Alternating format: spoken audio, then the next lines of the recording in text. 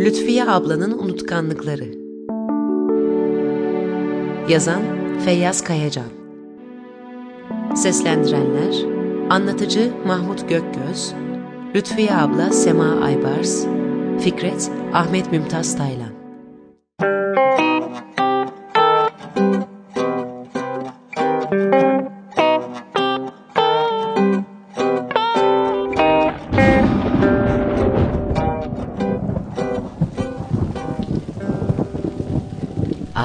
yeter artık. Eşek şakasını da geçtim. Nereden bulmuşlar, nereden toplamışlar bunca yağmuru? Bıktım artık. Ne baş belası şeymiş. Yağmurun böylesini hiç görmemiştim doğrusu. Fikretciğim şimdi de senin adına kızmaya başladım. Bak işte bir hafta oldu sen buraya geleli. Dışarı bir adım olsun atamadın. Arkadaşların da bekliyorlardır seni. Onlara önceden yazdığını söylemiştin. Şairlerimizden İngilizceye tercümeler yapmışsın. Bir İngiliz edebiyat mecmuasında yayımlanmış. Tabii ki görmek isteyeceklerdir bunları. Almanca'ya çevirseydin ben de okurdum. Ama Almancamı unuttum galiba. Ablacığım zararı yok. Türkçe aslından okursun şiirleri. Ben sana getiririm. Ee, sonra Lütfiye abla ben bir hafta önce değil dün geldim. Yeşilköy'e saat 3.30'da vardık. Peki nasıl yanaştınız rıhtıma? Baksana göz gözü görmüyor. Abla ben uçakla geldim. Vapurla değil. Aa tabii o da olabilir. Şiirleri aruz vezniyle mi tercüme ettin? Peki rıhtıma ne oldu öyleyse? Orada mı bekleyecek arkadaşlarım? Yeşilköy'de Esat abiye giderdik sık sık. Çok değerli bir diplomattı. Zarif bir adamdı doğrusu. Bir çiçek lügatı gibi bahçesi vardı bembeyaz evinin arkasında. Ne kadar da erken dökülmüştü saçları. Dişleri takma mıydı acaba? Çok da zengin bir pul koleksiyonuna sahipti. Öyle değil mi? Yoksa başka türlü bir koleksiyon muydu? Dur şimdi ne, neydi o? Söylesene. Pul değildi ablacığım. Esat abinin çok esaslı bir taş plak koleksiyonu vardı. Hem batı hem de Türk bestecilerinin önemli yapıtlarını içeren. Aman Fikret ne biçim konuşuyorsun? Yapıt ne demek? İçeren ne demek? Yapıt sapıta benzeyen bir laf. İçeren sözünde de iş yok. Şişeler filan geliyor aklıma duyunca onu. Fena bir şey değil öyle düşünmen. Bilirsin ablacığım benim şişelerle sarmaş dolaşlığımı. Ha evet şimdi hatırladım. Pul koleksiyonu yapan bizim köşkü ziyarete gelen yaşlı Alman cer mühendisi Meissner Paşa'ydı. Çok mükemmeldi Fransızcası. Oğlu çiftçiydi değil mi? Türkiye'de jambonculuğa onun ön ayak olduğunu söylerler. Keçi gibi konuşurdu. Onun adı neydi? Annesi Ermeniymiş. Onun da adını bilemiyorum. Ben eskiden de bilmezdim zaten. Kadını bir kere olsun göremedim. Kendisi gelseydi yahut bizi davet etseydi evine. Fikretciğim Yeşilköy'de seni Esat abi mi karşıladı? Bak şaştım buna. Teessüf ederim yani. Yıllardır beni aramadı. Ben yalnız yaşayan, yaşlanmış, katılaşmış bir kadın.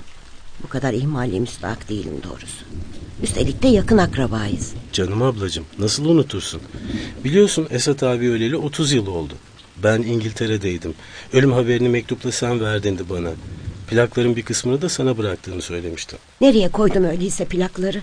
Pul koleksiyonu kime kaldı? Kim bilir Esat abinin çocukları ne kadar üzülmüşlerdir. Babanı kaybetmek feci bir şey. Elim bir kayıp. Esat abi hiç evlenmedi ki abla. Ama şimdi ben ne yapacağım? Senin çocuklarını nerede yatıracağım? Önceden haber verseydin hiç olmazsa.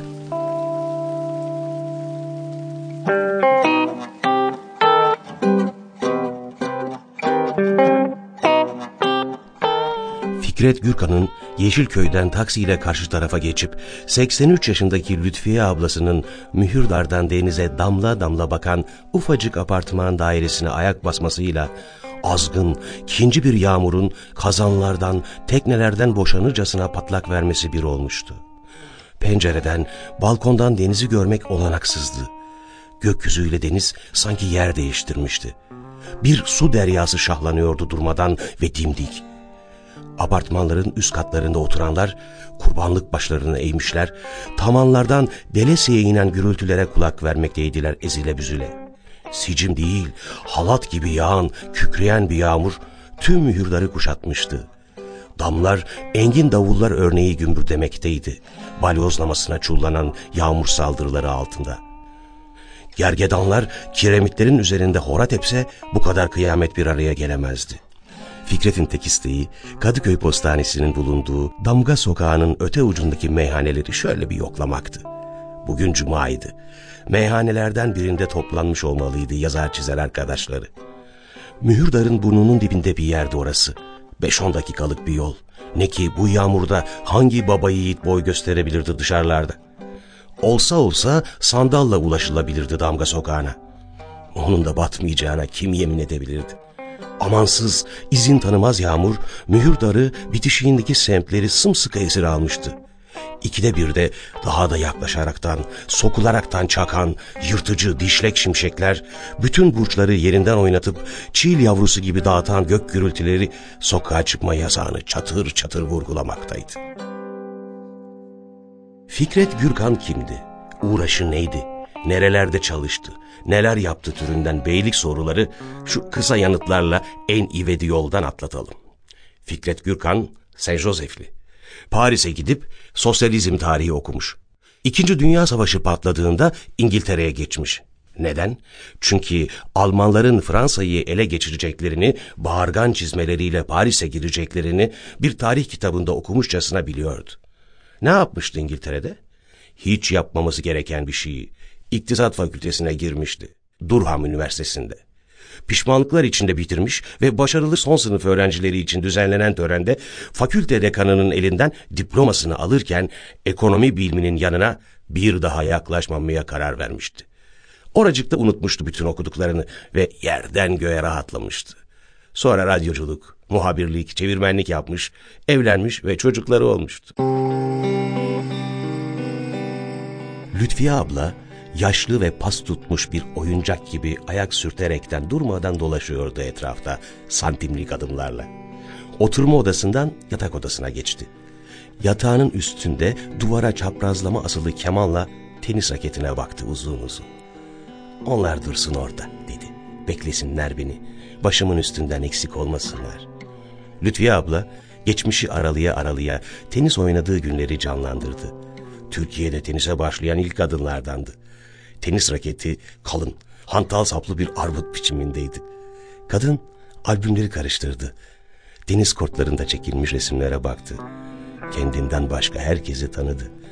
Peki ben neredeydim bu resimler çekilirken? Demek çağırmamışlar beni yanlarına. Terbiyesizlik işte. Çoğuna da ben öğretmiştim tenisi dedi.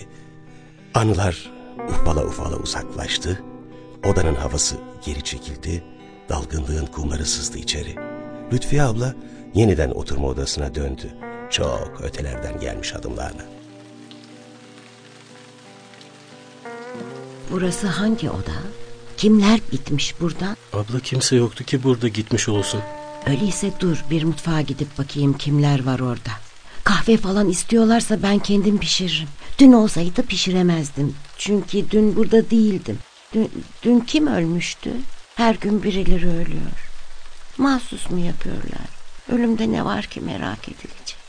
Ben, ben burada durmadan dolaşıyorum. Onlar da durmadan ölüyor. Hangisi? Ölmek mi dolaşmak mı? Evet. Sonra ben titiz, e, belki de aşırı titiz bir kadınım. Başkalarının cezvelerime, fincanlarıma dokunmasını istemem. Fincanlar anneannemden kalma. Kırılırsa son derece üzülürüm. Bu ne laubalilik ya? Nasıl girerler mutfağıma bana haber vermeden, iznimi almadan? İsteseler de vermem zaten. Şimdi her şeyi karıştıracaklar. Mutfağın altını üstüne getirecekler. Ondan sonra artık ayıkla bakalım pirincin taşını. Aman be keyfim kaçtı. Lütfiye abla mutfağa gitti. İçeride kimsecikler yoktu. Camekanlı balkoncuğa açılan kapıdan dışarı baktı. Balkon piramitler gibi yükselen boş plastik yoğurt kartonu yığınlarıyla, boş pasta kutularıyla, boş kavanozlar ve deterjan paketleriyle, yumak yumak sicimler, poşetler, dikkatle katlanmış kese kağıtları, kullanılmamış tarih dışı takvimlerle dolup taşan çok bakımlı bir kalıntı ve süprüntü mezarlığını andırıyordu. Bir bakıma da yazılmamış bir günlüğü. Geri döndü Lütfiye abla. Kahve fincanlarını saydı. Cezveleri okşadı parmaklarının ucuyla. Aa, yıkamışım demek. Fikret ben bugün kaç kişiye kahve pişirdim? Kaç kişiye şekerli, kaçına sade kahve yaptım? Ablacığım, bugün buraya kimse gelmedi. Kimse uğramadı. Gelemezdi de. Yağmura baksana. Bu yağmur da çok oluyor yani. Gaddarlıktır bu kadarı.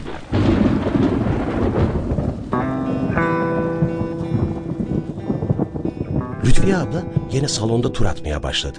Bir ara üstü işlemeli bir bezle örtülü bir sepetin önünde durdu. Sepet balkoncuğun bir başka türlüsü.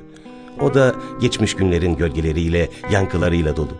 Kırık yelpazeler, firketeler, şiş boyunda topuzlu iğneler, kuruyup çatlamış kokulu sabunlar, kolyeler, küpeler, düğmeler ve sessiz bir zarfın içinde toplanmış eski sessiz film yıldızlarının fotoğrafları. Pola Negri, Ricardo Cortez, Gloria Swanson, Rudolph Valentino, Ramon Novaro, Lillian Gish, John Barrymore, Sezu Hayakawa. Novaro'nun resmi üstünde rujlu bir kadının dudaklarının izleri. ne bilsindi Lütfiye abla Novaro'nun homoseksüel olduğunu. Lütfiye abla yeni çabalara girişmişti. Çekmeceleri açıp kapatıyor. Odanın şurasına burasına serpiştirilmiş sehpaları gözden geçiriyordu. Sanki yağmuru susturmaya, kurutmaya ya da dört nala dehlemeye yarayan tılsımlı bir araç peşindeydi. Bulamadı. Yok dedi kendi kendine. Gitti, giriş kapısının arkasına asılı kocaman şemsiyeyi aldı.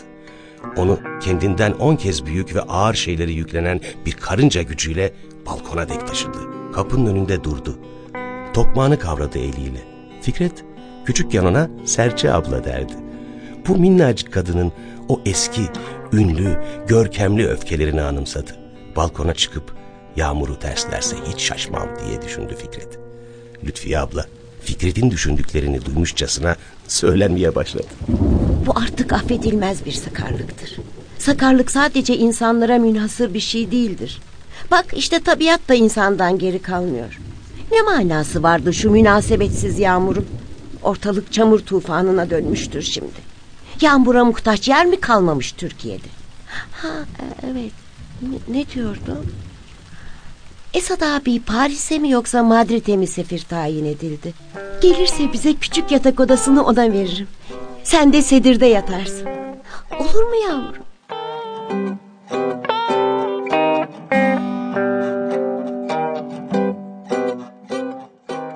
Lütfiye ablanın bakışları bir duvarı baştan başa kaplayan kalın yaldızlı çerçeveler içindeki küçüklü büyüklü tablolara daldı. Osmanlı İmparatorluğu devrinin tükenmeye dönük günlerinde Arabistan'da yüksekçene işlerle görevlendirilmiş olan dedesinden kalma yapıtlardı bunlar. Yani Lütfiye ablanın gözünde yapıt niteliğindeydiler. Dedesine değin her şey uzaklaşmayan, aşılmaz bir kutsallığa bürülüydü. Fikret tablolardan gözlerini korumak, kaçırmak istedi, olmadı. Kancalamasına takıldılar. Ama ne resimler, deve resimleri, develi manzaralar, yüklü develer, yüksüz develer, deve kervanları, çöktürülmüş develer, ayakta duran ve seyredene pis pis bakan develer. Nereden bulmuştu dedesi bu tabloları? Kime yaptırmıştı? Ismarlama eserler miydiler? Yoksa us irkiltici bir sanat galerisinden mi çıkmaydı? Neydi bu deve ressamının adı? Hangi ustanın yanında yetişmişti fena halde? Bütün tabloların aynı fırçanın fırlamaları olduğu belliydi. Bu çetrefil yapılı, biçim düşmanı hayvanın çoğunluğa eriştiği duvarın tam ortasında herhalde yeknesaklığı bozmak, kadın denilen nesnenin develere oranla küçümsendiği izlenimini gidermek için kadınlı tablolar oturtulmuştu. Bir konu birliği göze çarpıyordu. Kadınlarca develere karşı kurulmuş olan bir cephe. Bunu develere yöneltilen bir protesto gösterisi olarak değerlendirdi Fikret. Deve ressamının parmağı yoktu ama bu resimlerde. Bunları kalın kalın döktüren kişi Fransız sanatından dem vurmaya özenmiş, parmaksız bir ressam olmalıydı. Tablolardan birine gölde yıkanan kadınlar adı yapıştırılmış. Kadınlardan biri çenesine dek su içinde. Bir eli dışarıda. Yüzüyor mu, boğuluyor mu belli değil. Yüzmesini belki daha iyi bilen başka bir kadın çimenliğe uzanmış. Bir kötürüm ağacın dalları altında acıklı tenini kuruluyor. Havlusu işkembeye benzemekte. Dalların arasından sözde güneş ışıkları süzülüyor. Süzülmüyor gerçekte. Yapışkan bir salya gibi. Vıcık vıcık sarkıyor. Renkler aynı doğrultu ya da çöküntüde kaynatılmış ıspanak yeşilleri. Çamurları bile tiksindirebilecek sarılar. Solucan pembeleri. Çürük ciğer kırmızıları. ıkıntılı maviler. Eskiden çocukluğunda bu yapıtlar köşkün odalarına dağıtılmıştı. Bu resimleri bir arada görünce Fikret'in içi zifiri karardı. Salon diye geçinen apartman odacığında Fikret'in avaz avaz canı sıkıldı.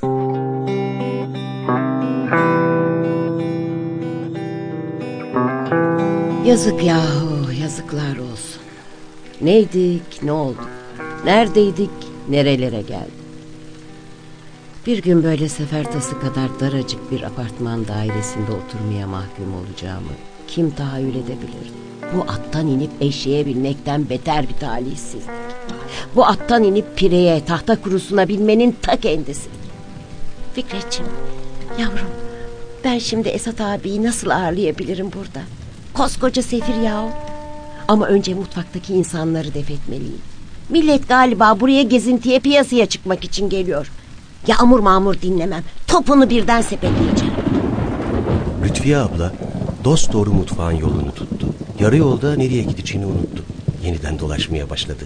Dedesinden kalma mavi bir saksonya vazosuna baktı. Dalgın dalgın. Aa, bu vazo kırılmamış mıydı? Birisi tamir etmiş.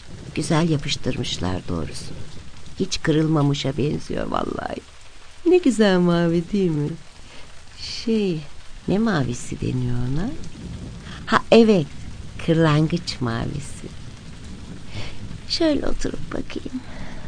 Yıkana yıkana rengi solmuş. Kırmızı kaplamalı bir koltuğa yerleşti. Ayakları hemen yerden kesildi. Bu kocaman koltuğun içinde kadıncağız daha da ufalmış görünüyordu. Daha da uzak. Çağrılmamış bir anı kadar. Olmaz. Birdenbire ayağa kalktı, yeni bir yürüyüşe çıktı. Abla, niçin böyle durmadan aralıksız yürüyorsun? Yorulmak yok mu sende? Otursana biraz. Ben yorulmam Fikretciğim, yorulmam ben. Oturursam ölürüm korkusu var içimde. Ölümden korkmam. Yalnız iskemlede, kanepe ya da koltukta otururken göz göre göre ölmek istemem. Ona razı olamam. Babam nasıl öldü biliyor musun? Uzun bir rahatsızlık geçirmişti. Yatağından kalkamaz oldu.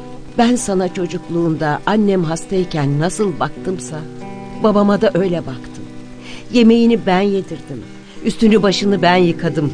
Lazımlığını ben getirdim. Ben götürdüm. Ben boşalttım. Bir gün bana dedi ki boğuk bir sesle. Lütfiye kızım hemen koş bana mutfaktan bir bardak su getir. Suyla odasına döndüğümde babamı ölmüş buldum. İşte ben de öyle ölmek istiyorum.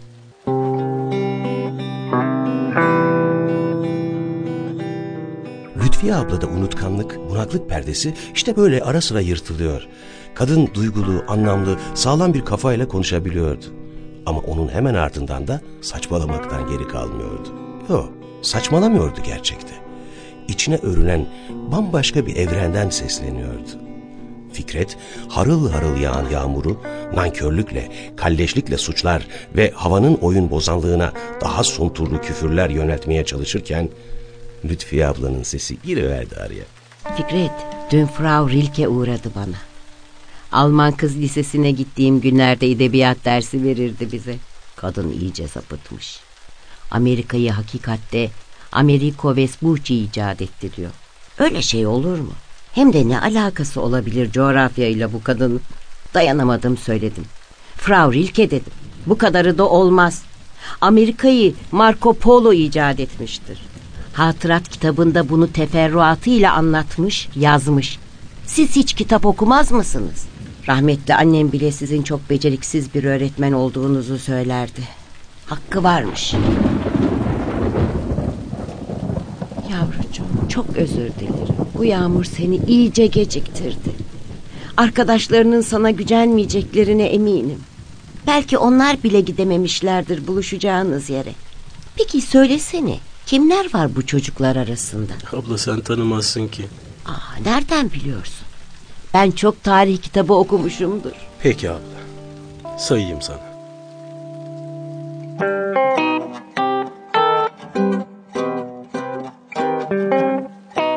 Onat Kutlar da gelir belki. O da ne anlayamadım. Sen neden bahsediyorsun yavrucuğum? On tane at neyi kutluyor? Hayır ablacığım. Onat Kutlar diye bir arkadaşım var. Adı Onat, soyadı da Kutlar. Ülkemizin değerli hikayecilerinden. Öyle şey olmaz. Zavallı evladım. Dediğin kadar kabiliyetliyse şatafatlı bir isim bulmalıyız ona. Mesela Muhteşem Kadri. Hı, Muhlis Haşim de olabilir. Adnan Sipahi de olur bence. Söyle ona Fikretciğim dediğimi yapsın. Beğenmezse ben çocuğa daha da güzel isimler bulurum. Yeter ki istesin, söylesin. Ben erkekleri severim. Hiç olmazsa bir erkeğin isminde azıcık payım olsun. Çok isterdim onu. Evet. Lütfiye abla içinde yarıda kalmış tümceyi sanki tamamlamak istiyormuş gibi yatak odasına doğru geçmişten esen adımlarla, geçmişte yazılmış ufak adımlarla ilerledi. Fikret'e biraz uzanacağını söyledi ve kapıyı kapattı. Lütfiye abla gözlerini kemana dikti. Bir ufuk çiziliverdi teninin her yanına. Yeşeren, unutulmaz bir sıcaklıktı bu. Kemanın asılı olduğu duvara yanaşmak istedi. Yatağa çıkıp kemanı alacaktı, olmadı. Bir başka duvara, görünmeyen bir duvara çarpmışçasına durdu, sendeledi biraz. Bir tutam ot gibi sallandı.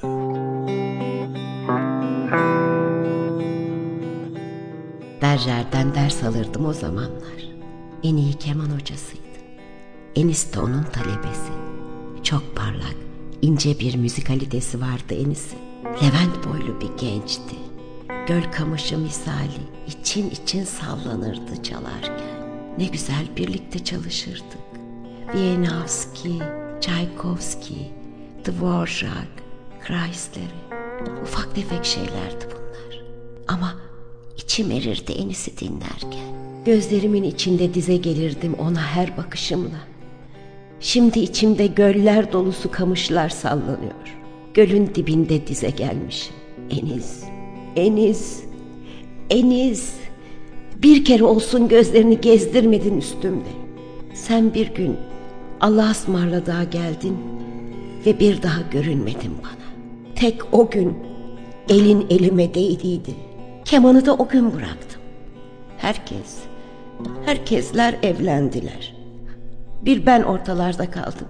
Kaderim senle beraber uzaklaştı. Unutulmuş bir ürperti gibi yaşıyorum. Ama o da bir şey yani. Hiçten daha iyi. Ee, ablacığım yağmur dindi. Bir saat kadar önce. Uyandırmadım seni inşallah. Ben gidiyorum şimdi. Dur Enis. Geliyorum. Bekle beni. Lütfiye abla odasının kapısını açtı. Fikret'i gördü. Uzun uzun baktı. Diğerleri söndü. Sonra sabırlı, görgülü, beklemelere alışkın, sevilesi bir gülümseme uyandı dudaklarında. Tüm boşlukları dolduraraktan. Küçük kardeşinin bembeyaz saçlarını okşadı, içerlek, aydınlık parmaklarıyla. Olur Fikretciğim. Çocuklarına selam söyle. İyi yolculuklar. Ne zaman hareket ediyor tayyare? Bak benim canım evladım. Kardeşim sana bir şey söyleyeyim şurada. Ben ölürsem üzülme. Mezarıma geleyim de deme. Orada canım sıkılıyordur. Canım çürüyordur. Bol bol mektup yaz bana. Ama yollama. Yüksek sesle oku. Ben duyarım. Yolunu bulur duyarım. Hiç kimse toptan terki hayal eylemez. Bir şeyler kalır herkesten arkalarda. Sen onlara seslen. Yani bana. Ara sıra Chrysler'den bir şeyler çalarsan plakta sevinirim. Hadi yolun açık olsun Fikretciğim. Esat abiye de selamlar. Beklediğimi söyle.